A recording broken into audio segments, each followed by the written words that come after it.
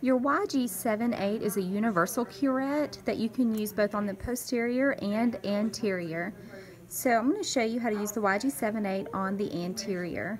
So I know what worked on my upper right is now going to do surfaces away from me, canine to canine. So for the anterior teeth, you can divide your tooth in half. So I'm going to start midline of the canine and roll. Midline of the canine and roll. Your YG78 is great for staying on the linguals of your anterior teeth as well as on the buccals and linguals of your posterior teeth. You can use an interproximal, but with the wide toe, it's not going to fit well into a tight contact. And I'm going to flip my instrument and I'm going to do my surfaces towards. This works the same way on the mandibular teeth.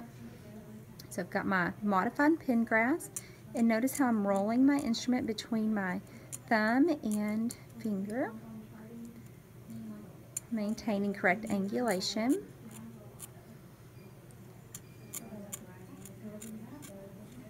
And that is anterior use of your YG78 Universal Curette.